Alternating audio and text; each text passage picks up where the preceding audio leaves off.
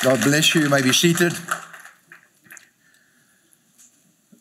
This morning, I want to just uh, speak about something that I believe is quite important, and that is about judgment, justice.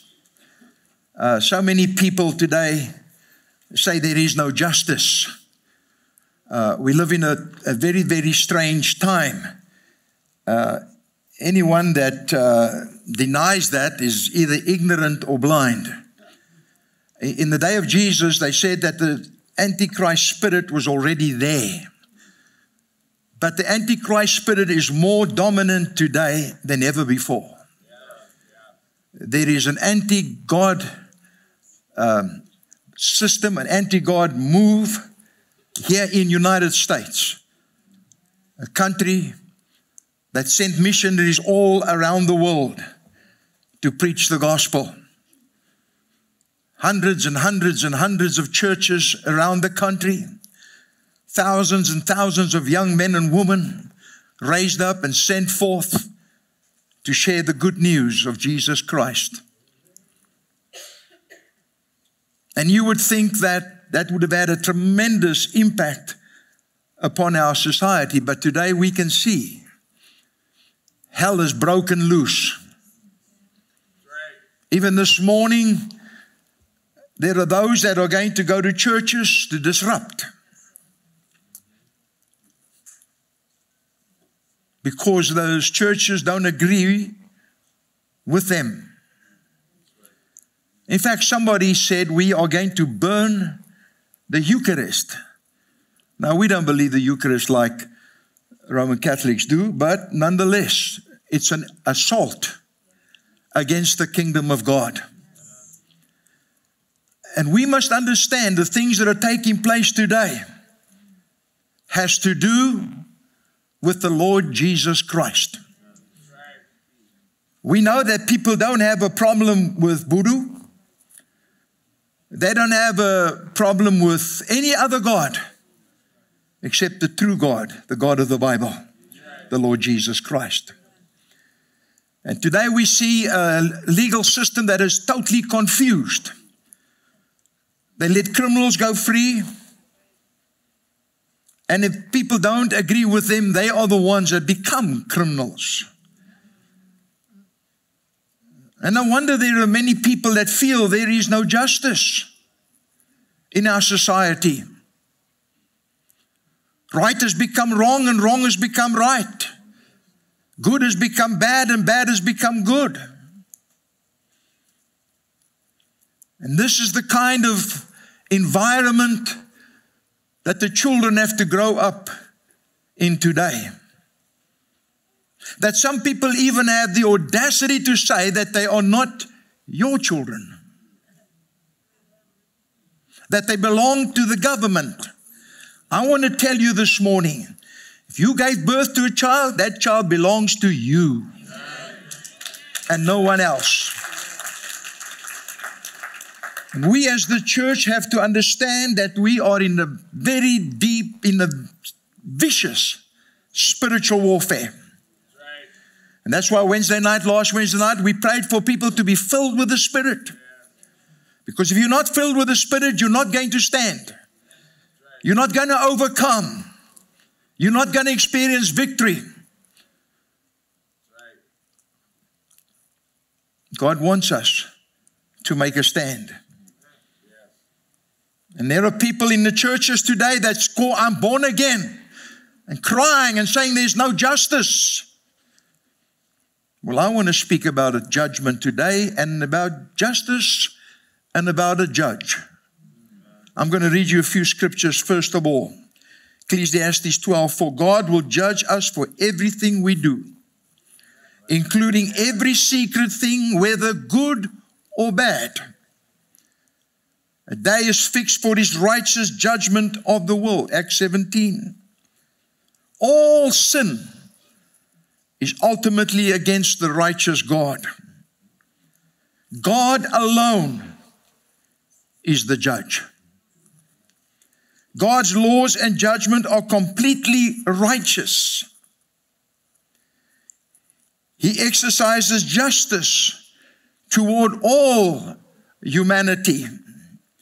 He is just in all his ways. God rightly judges the heart, the mind, and the deeds of men and women. God, the psalmist says, Come and judge the earth. Man's responsibility in all the ages is to believe and obey. That's our responsibility to believe God's word and obey. And so those scriptures all speak about God is the righteous judge. And I want to show you the scope of his judgment. God has a track record of a faithful, righteous judge. We know today judges are moved by political movements. They are moved by political ideas and philosophies and not by righteousness. But you can be assured this morning that there is a judge of all humanity who is a righteous judge. And he's the God of the Bible. Right in the very beginning, when the angels in heaven stood around the throne of God and praised him and worshiped him, it says there was one who was a covering cherub. Now, there are different groups of angels. There are archangels, there are covering cherubs, and there are ordinary angels. Covering cherub is the highest or the second highest group of angels in heaven.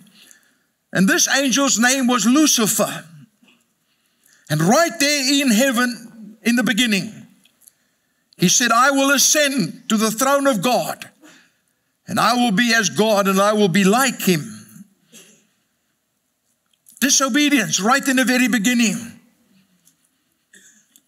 Third of the angels stood with him in his rebellion. And immediately, God the judge judged them and cast them out of heaven. In the beginning, God created man in his own image and likeness and prepared a beautiful garden for them and said they can enjoy everything that is in that garden, but except from the fruit of the one tree. The day you eat of that tree, you shall surely die. Satan came along, deceived them, they ate of the fruit, disobeyed God. And immediately there was judgment. God drove them from the Garden of Eden and put angels with flaming swords at the gate so that they could not get back in. He said, if they eat that fruit, they will die. Put them out of the garden of Eden, and they became subject to death.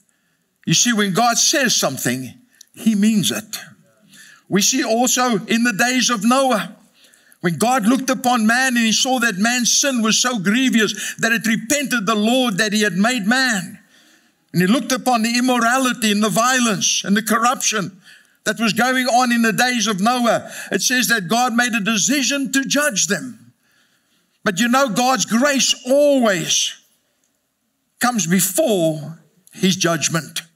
When he looked at that and he decided that he was going to judge mankind uh, for their behavior, he raised up somebody who will give them hope. And that was a man by the name of Noah.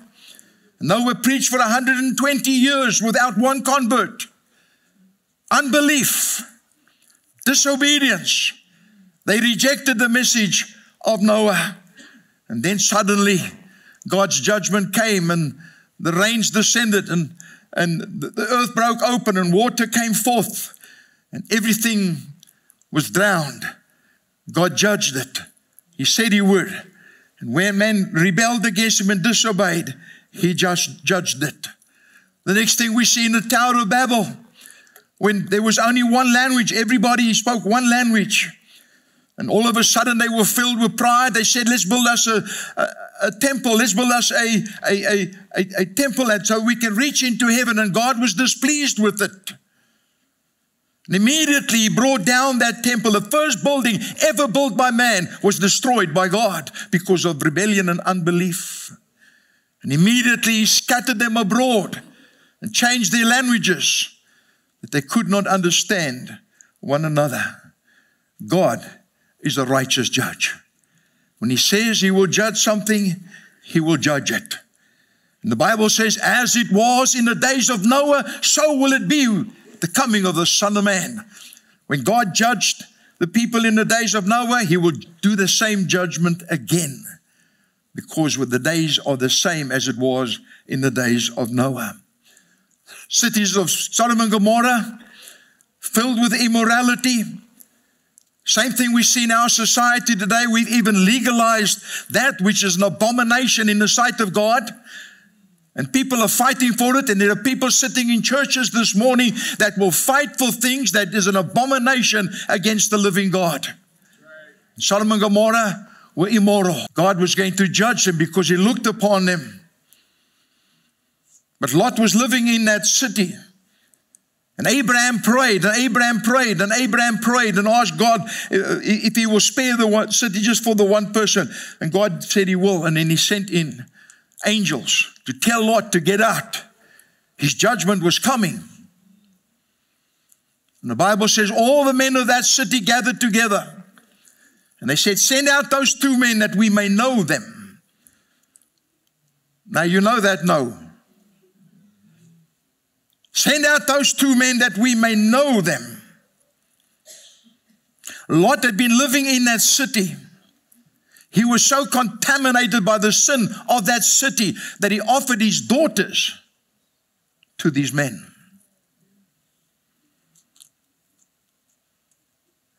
And God's judgment came fire.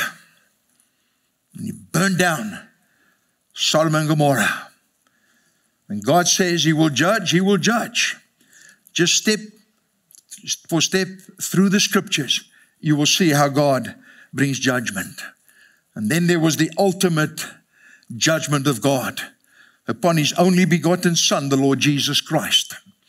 Because Jesus became the sin bearer, died on Calvary under the judgment of God, because sin had to be judged. There on the cross, he said, My God, my God, why have you forsaken me?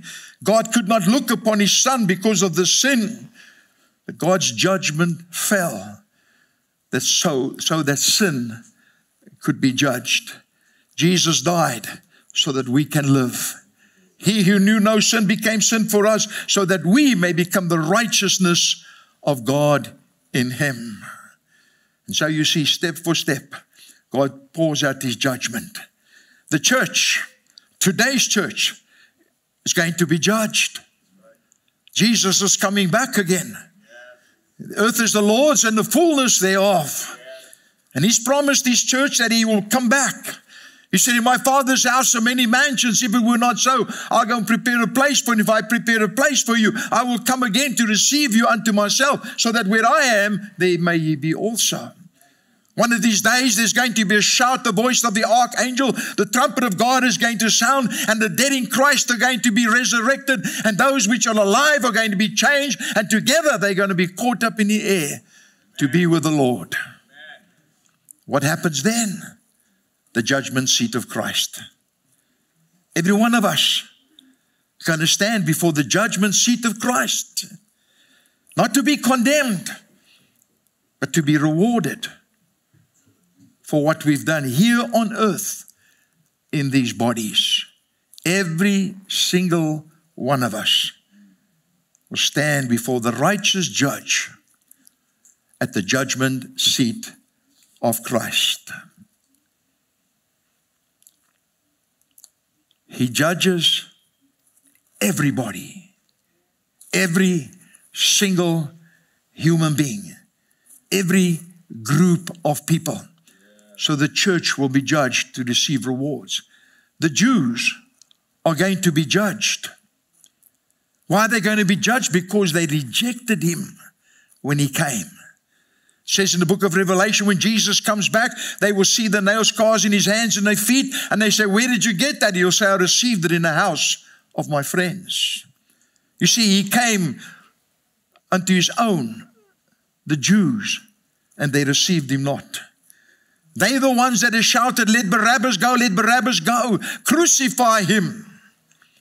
An innocent man. the Jews sent to the cross. They will be judged. When? When we're in heaven receiving our rewards. There's going to be seven years of tribulation upon the face of the earth.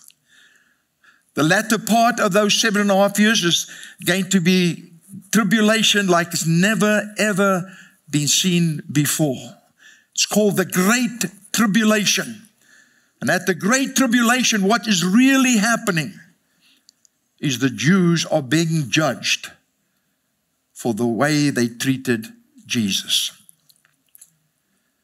A man is going to rise up, he's going to be the Antichrist, and the world is going to bow to him and he's going to be worshiped everywhere. A man who's going to have all the solutions to the problems and the issues we are facing today. He's called the Antichrist because he's anti Jesus. The world is aiming already for one world government, one monetary system, and one church. That's the way it's going. And you can see a lot of that taking place already. Why? It's all being prepared for the Antichrist. The devil is an imitator. And he imitates the triune God, God the Father, God the Son, and God the Holy Spirit. So he's going to raise up a antichrist and he's going to raise up a false prophet. He himself is called the dragon.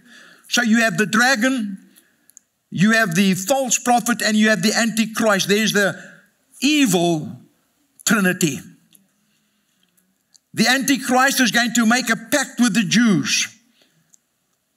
And first of all, they're going to worship him and think he's a wonderful man. And he will stand up in their temple and he will say, I am God. And then he's going to turn against them.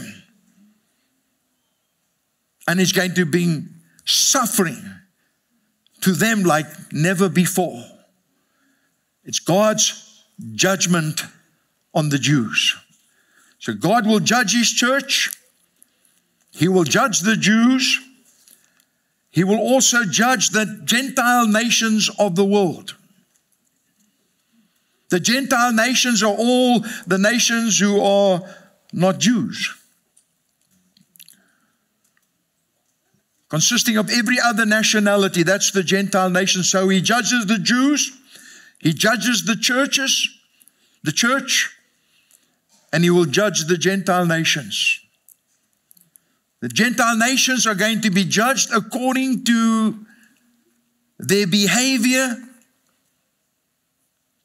under the Antichrist when the Jews were persecuted and suffering according to how much they were willing to help the Jewish people. They will be judged. That's why Jesus says, I was hungry and you fed me. I was thirsty and you gave me to drink. I was naked and you clothed me. It's got nothing to do with the poor, it's got to do with the Jews suffering under the wicked hand of the Antichrist.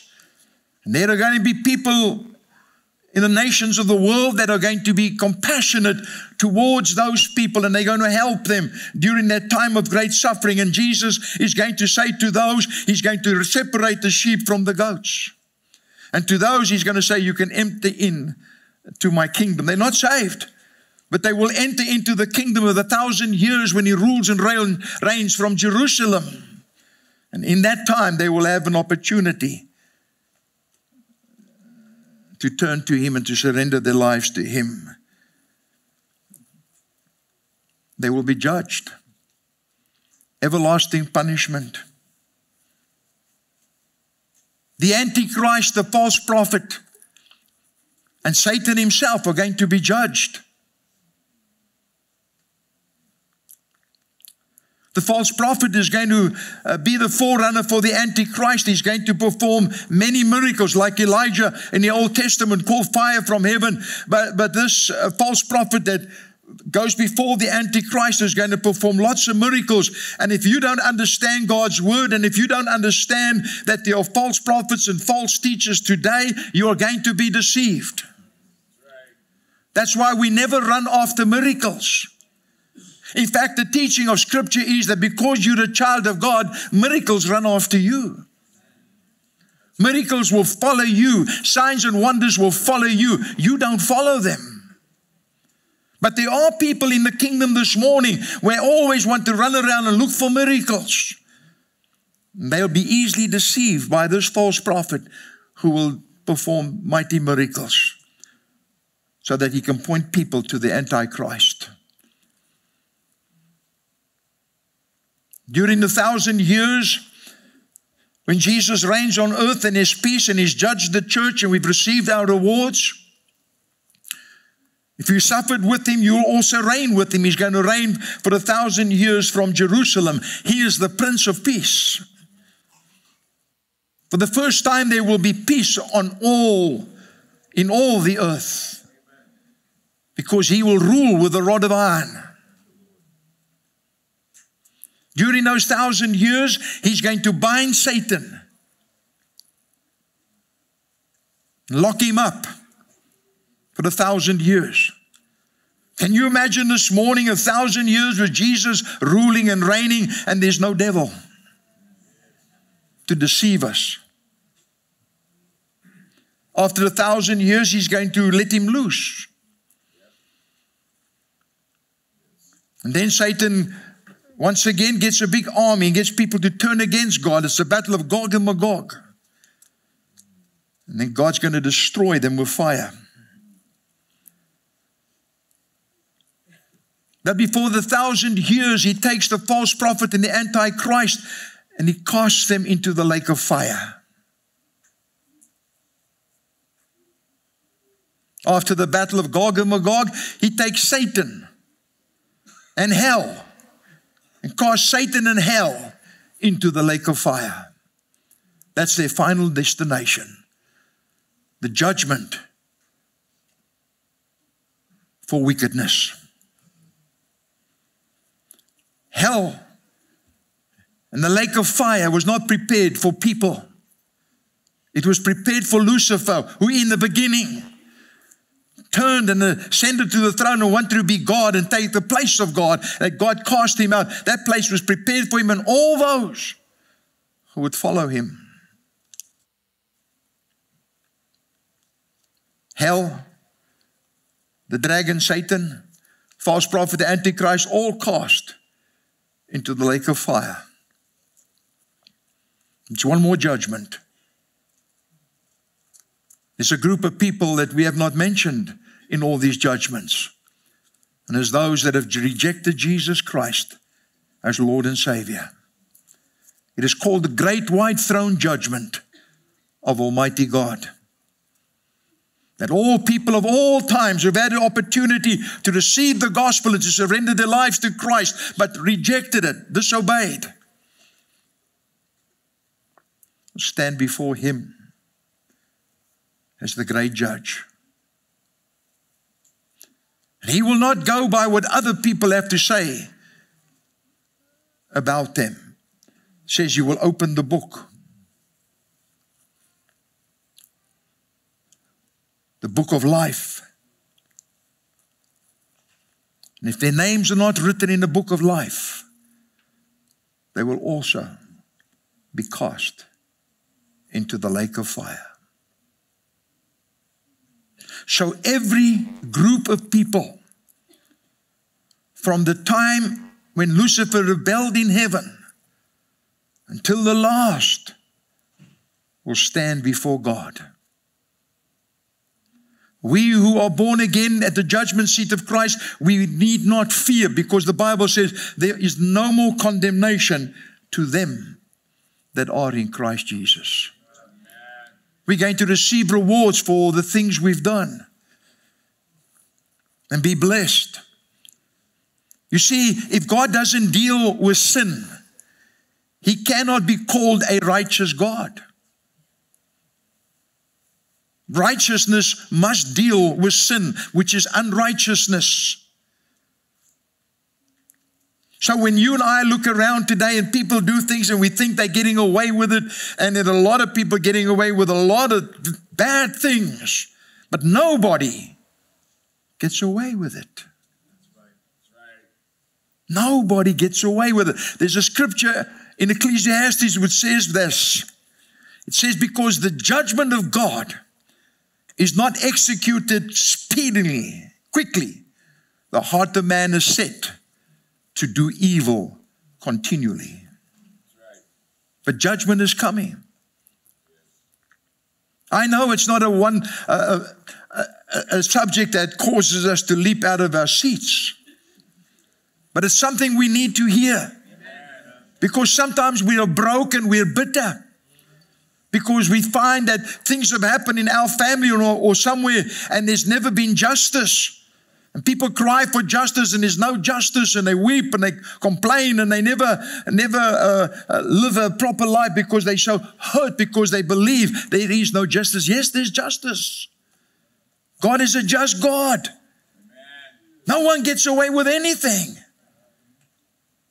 He's not like the judges today that let the innocent go and let the, let the, the guilty go and put the innocent in prison. He knows everything about everybody. And to me, this is not a difficult thing because it sets peace in my heart to know that I don't have to get bitter with people. I don't have to get broken and upset with leaders who are wicked and think that somehow they're doing these uh, terrible things and they're going to get away with it. They're not. It's appointed unto man once to die, and after that, the judgment. And so you and I have a great, great opportunity to surrender our lives to the Lord Jesus Christ. We're not speaking about being religious. We're not speaking about bending the knee to rules and regulations. We're speaking about surrendering your life to the giver of life, the Lord Jesus Christ. God has a wonderful plan for each and every one of us. He's not a respecter of persons. God is not looking for only for the rich and the educated. He loves all people, all races, all colors. No matter whether they're rich or poor, educated or uneducated, He died for them so that they may have life and that more abundantly. Jesus died so we might live. All He requires is that we say, Lord, here's my life. Obey Him, believe in Him, and you will escape the great white throne judgment. In fact, God is so gracious that He will reward us for being obedient to His word.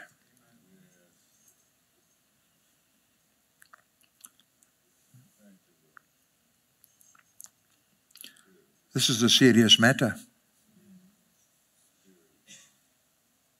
This is not a thing that we just do in church for the sake of doing it. This is life and death. Amen. If you believe, you will live. If you reject, you will die. Eye has not seen, nor ear heard of the wonderful things that God has prepared for them that love Him. And I believe there are some of you here this morning. You're sitting on a fence. You think to make a decision like that is for sissies. May I remind you the greatest and the strongest men of all time have been men of God. It's a sissy that cowers and flees from the gospel. But it's a man and a woman with backbone that will surrender their lives to the Lord Jesus Christ. I don't want to stand before God one day and God say to me, You know, you preached about everything but what was important. I want to give everybody an opportunity. I will never force anybody, and I will never hold anything against anybody that rejects the gospel. But I pray for you.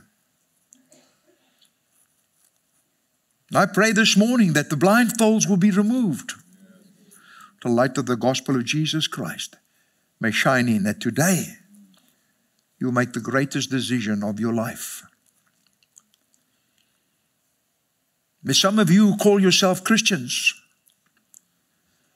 You're also sitting on a fence. You're half baked. You're neither in nor out. You've got to make up your mind. Whose side you on?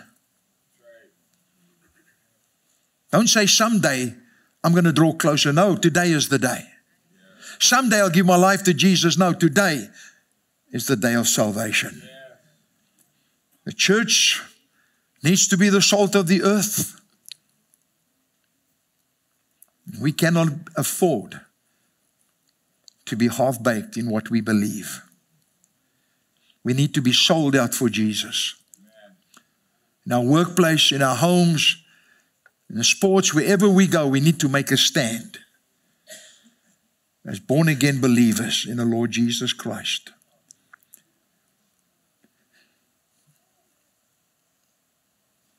I'm going to ask you just to stand for a moment.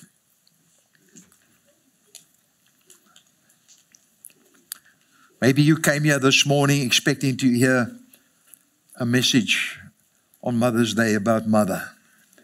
God bless all the mothers. But this is about Jesus. And I want to challenge you today. I don't want to embarrass you. I want to give you an opportunity today to raise your hand and say, Yes, I'm not saying get religious.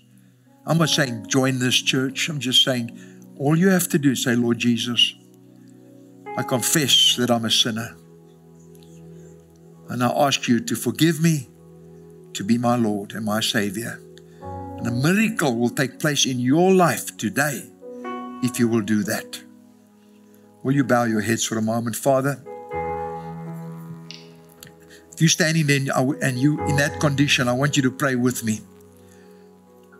God, I ask you today to forgive me of all my sin, to become my Lord and my Savior.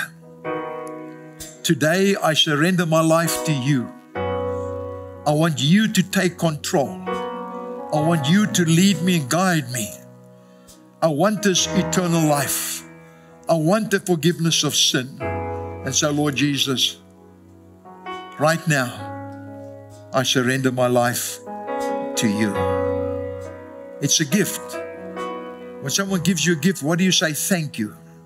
Thank you, Jesus. If you prayed that prayer this morning, you need to say, Thank you, Jesus, right now, because He's forgiven you. You've become a child of His right now. Is there someone that prayed that prayer? Just raise your hand. Eyes are closed, heads are bowed. Is there someone that prayed? Just raise your hands. We can see if you prayed that today. Yes, thank you. There's someone else. Yes, thank you, thank you. There's someone else this morning who prayed that prayer say, Yes, I prayed that prayer. I ask the Lord to forgive me today. Don't be shy. Just raise it. Nobody's looking at you. Is there someone? Yes, thank you, thank you, thank you, thank you. There's someone else this morning, quickly. I don't want to leave you out. You don't, thank you, thank you. I saw that. Thank you. I saw that. Thank you. Lots of people, thank you, thank you. I see your hands. Thank you this morning. Just by praying that prayer, I believe God is going to change your life. You know, that's what I did so many years, and He changed my life around. Maybe you don't want to raise your hand, but you did pray that prayer. Let me tell you right now, God has forgiven you of sin, and you're a child of His.